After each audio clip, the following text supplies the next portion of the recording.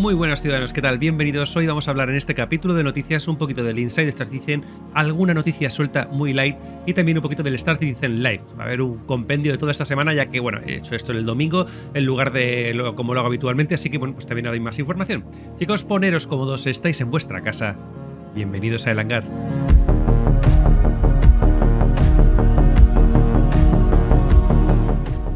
Bueno chicos, empezamos entonces por la primera mitad de este Inside, el cual se llama Assets Validation. Básicamente es como una especie de validación de recursos o de assets del juego. Aquí tenemos en pantalla es eh, em, Sin Tracy, básicamente es el director de herramientas, del pipeline y todo eso, de cómo funciona todo esto. Lo vamos a ver mucho porque no hay tanta imagen del juego como teoría. Vale, voy a tratar también de... Em, resumirla y hacerlo lo más entendible posible porque aquí hay mucho jerga, ¿no? Que, bueno, que es técnica y tampoco queremos entrar en tecnicismos a tope, queremos enterarnos un poco de lo que va la cosa. Básicamente de lo que nos está hablando aquí Sin, eh, Sin Tracy es de, de qué es una build, de por qué hay tantos errores, de dónde surgen y cómo va la cosa. Bueno, la cuestión es que eh, los errores vienen pues de todas partes. Eh, aquí nos va a poner un caso muy concreto que, por ejemplo, em, estaban diseñando el tema de una cara, esa cara, esas caras o esos cuerpos no tenían los niveles de detalle bien definidos, solo tenían la cara y eso generaba directamente en cuanto lo metías en el juego un error. era dos segundos de build, en cuanto entrabas y se veía la cara, directamente te crasheaba. ¿no? Pues está hablando un poco de, de todo eso, de todo el esfuerzo que hay a la hora de crear una build y en qué consiste esta creación de build, en qué consiste el trabajo de mantenimiento de todo ello. La build la entienden ellos, pues, pues como por ejemplo en programación tú eh, programas cualquier cosa eh, eh, de una manera como, como, cruda, básica, después la pasas, la compilas y después ya tienes un, un, programa, un ejecutable. Pues ellos con los assets, con sus recursos, hacen más o menos lo mismo. Ellos crean cosas, después tienen que pasarlos al motor y bueno, después eso ya pues lo vemos nosotros, ¿no? Está de una manera, una manera más comprimida y más sencilla para que nosotros la gestionemos. Pues bien, hablando un poquito de estas builds, la cuestión es que ellos generan eh, builds, varias builds de manera diaria. Ellos van probando, van añadiendo cosas a esas builds y después ellos van trabajando sobre, sobre, sobre ellas.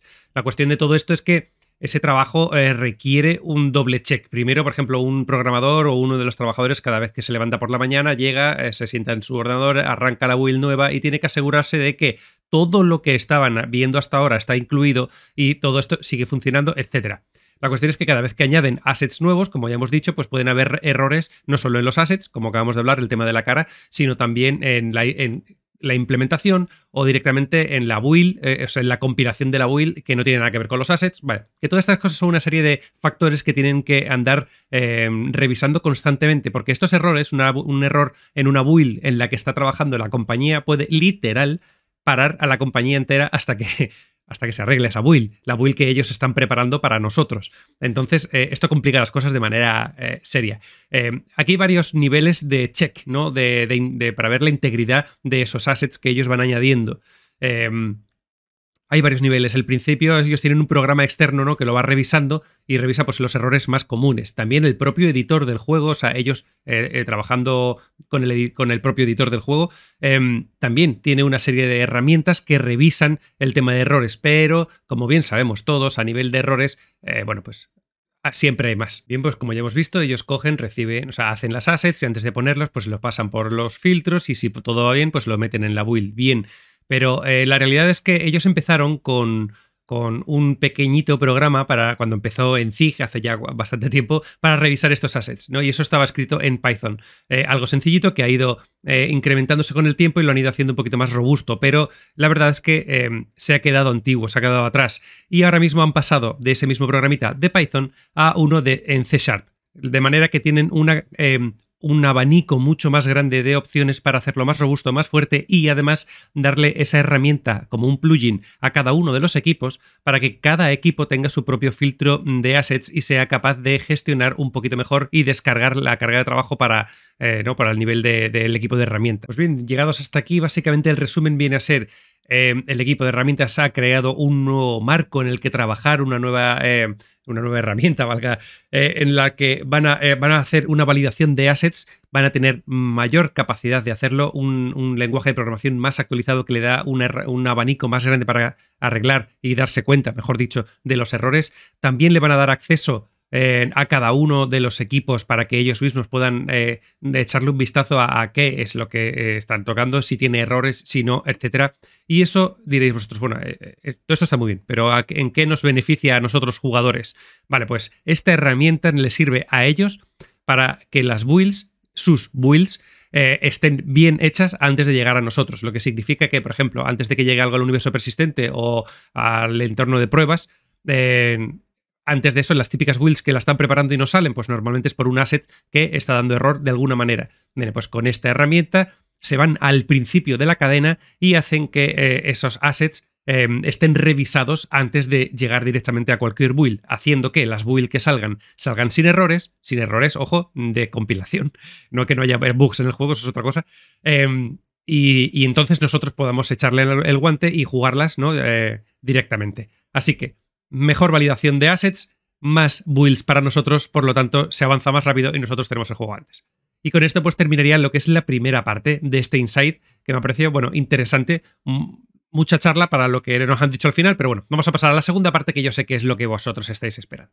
Empezamos entonces con esta segunda parte. Vamos a hablar de la Polaris. Y es que la Polaris es uno de los diseños originales con más tiempo, creo que es de 2017, que llevan en Star Citizen. Entonces, ¿qué es lo que significa esto? Muy fácil. No tenían ni idea. No, el, aspecto exterior estaba muy bonito, ha cambiado un poco ahora, pero le van a hacer una revisión. Pero sobre todo el aspecto a la zona interior. ¿Por qué? Bueno, pues muy fácil, porque no encaja. Eh, por aquel entonces no tenían ni idea de, de cómo hacer naves, básicamente. Vamos a resumirlo así. Y ahora, pues van a tener que hacerle un lavado de sobre todo en su interior. Bien, pues volviendo sobre esta idea, eh, ya sabéis que sobre lo que es la, que es el trabajo de la Polaris sigue siendo el mismo, su función sigue siendo la misma em, y, su exterior casi, casi, casi el mismo. Han cambiado muy poquitas cosas. Vais a ver que hay alguna diferencia en las torretas que están más chulas. Eh, hay algún panel que no está donde antes, pero esencialmente, quitando eso y que se ha hecho algo más grande, la Polaris por fuera sigue siendo la misma nave de la que os enamorasteis. Así que ahí no corre peligro como la Carrack. Mm, mm.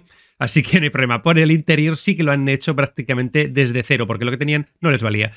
¿Cuál ha sido la métrica necesaria para meter aquí? Bueno, pues que esto es una nave que tiene eh, materiales de eh, militares de tamaño grande. Estamos hablando de que le hace falta a lo mejor escudos militares del máximo tamaño porque, bueno, pues la nave es lo que es, ¿no? Entonces han tenido que acomodar todas las piezas y partes de la nave teniendo en cuenta este tipo de materiales. Dicho esto, vamos a hacer un pequeño tour. Aquí lo que tenemos es la cabina, la han hecho un poquito más amplia. También tenemos en la parte de abajo la zona de las cápsulas de escape para que toda la tripulación que lo necesite en un momento determinado salga por allí.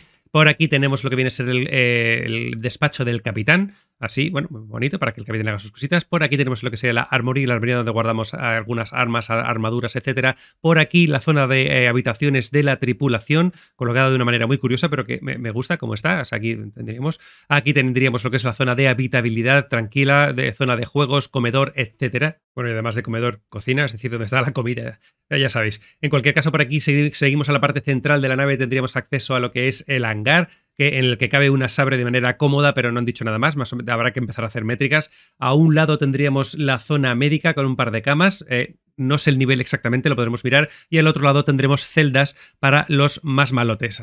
Justo ya en la parte final de la nave tendríamos lo que es la zona de ingeniería, que está dividida en dos partes, parte de arriba y parte de abajo. La parte de arriba con tamaños eh, de eh, medios de todo lo que son los bueno, el motor, esto y toda la parte de abajo serían ya todos los componentes, no sé la palabra, de tamaño grande, de tamaño capital.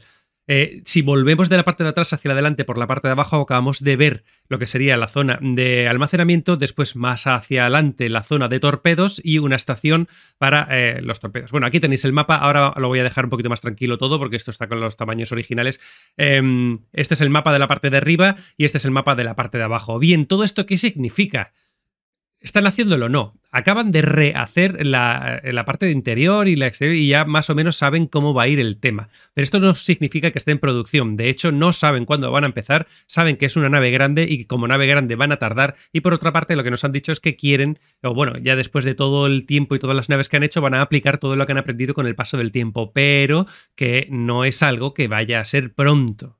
Así que todos los poseedores de una Polaris estáis de enhorabuena porque sabéis que ha sido actualizada, pero por otra parte seguimos con la interrogante de cuándo va a salir. Vale, ya solo dos cositas para ir terminando. La primera, eh, eh, ya sabéis, lo puse en Twitter, pero bueno, pues si no lo sabéis, os lo digo yo. En la 3.18 va a haber un WIP total. Significa que todas las compras que habéis hecho dentro del juego, todo el dinero que hayáis ganado, todas, eh, todo lo que hayáis conseguido dentro del juego, incluida reputación, todas las misiones que hayáis hecho, incluido todo, todo, todo, todo, todo, todo, vais a empezar desde cero. Vosotros y nosotros, sea, todo el mundo, me refiero. La cuestión es, la idea de esto es que todos en la 3.18 empiecen, bueno, con una build completamente nueva desde cero todos, porque, bueno, ya sabéis que no queremos eh, arrastrar cosas antiguas al nuevo PES, ¿no? Al Persistent Entity toda la pesca, bueno, pues vamos a ver todo desde cero. O sea, es decir, vais a empezar con lo que tengáis en vuestra cuenta y a partir de ahí todos empezamos a tope, lo cual a mí me parece bien porque no tenía nada, pero yo sé que a algunos de vosotros os va a tocar las narices. Eh, eso por una parte. Y después, segunda parte, vamos a hablar de las cuatro cositas interesantes que dijeron en el Star Citizen Live, que son por una parte que, bueno, pues los equipos de, de Turbulent todavía hacen eh, viajes a América del Norte, bueno, porque hay cosas que no se pueden hacer en, eh, remoto, tienen que ir, vale, están todo el, día, viajando, no lo sé, tampoco lo han dicho, pero bueno, están viajando. También el diseño de Lordville avanza, mm, progresa adecuadamente, ya ha alcanzado el doble del tamaño del Lordville actual, lo cual, bueno, pues está bien. Eh, todo eso tendrá una finalidad, no va a ser solo espacio usado y ya está. También, ¿qué más? Tienen controles de calidad dentro de ZIG para evitar en el tema de la producción tratar de tener que volver a cosas antiguas, algo que no, no, era antes, pero ahora sí. También se evitan demoras haciendo esto. También están diciendo que los equipos en Turbulent son algo autónomos y pueden pasar, bueno, pues sus eh, cargas de trabajo pueden variar dependiendo de algunas cosas, pero bueno, que se, se trabajan bien allí. Bueno, el tema de las estructuras o, habitaciones que están aquí y allá o zonas de habitabilidad que están trabajando. En general eh, hay diferentes tipos de partes que están utilizando, módulos de habilidad, eh, temas de chatarras, de habilidad, no, de habitabilidad. También están cogiendo estos módulos de habitabilidad para hacer algunos eh, lugares de accidentes en la 318, o sea, perfecto. Actualmente su enfoque ahora mismo es arreglar algunas ubicaciones que están abandonadas en Stanton, pero que probablemente, o ubicaciones abandonadas en Stanton, pero que se pondrán en Pyro en el próximo año. Eh, lo que significa que Pyro hasta el año que viene, como ya sabéis, evidentemente. Algo muy importante que me parece todo esto es que el equipo está viajando a Manchester para hacer un entrenamiento de raster. Ya sabéis que es esa herramienta para crear las zonas de habitabilidad en los planetas y vestir los planetas. Y esto significa como que hay más gente que está trabajando para eso, acelerar el proceso. Me parece muy bien. Stanton, Pyro, Nix, confirmadísimo que están en producción activa. Que haya más o no, no se sabe. ¿Quién sabe? Se ha discutido mucho con el tema de las estaciones espaciales abandonadas, incluido el uso potencial de Port Olisar como una de ellas. Em, no está confirmado ni desmentido. Están ahí un poco. Lo que pasa es que sí, de manera interna, están bastante convencidos de que habría que reemplazar por Olisar debido a la antigüedad de los assets y de cómo está hecha, etcétera, y sustituirla por otra. Así que bueno, vamos a. Yo creo que la vamos a echar de menos. Espero que hagan un evento algo así, en plan, yo que sé, algún ataque, como ya hemos visto, alguna historia de esas. Y con esto, damas y caballeros, hemos terminado el vídeo. Espero que os haya gustado. y Ya sabéis si ha sido así. Like, comentarios y suscribiros para estar al día de las noticias de Star Citizen. Para cualquier cosita me lo dejáis escrito en los comentarios. Y nos vemos en la próxima semana, pues, pues con cualquier cosita. Ya nos vamos viendo, ¿no, chicos? Chao.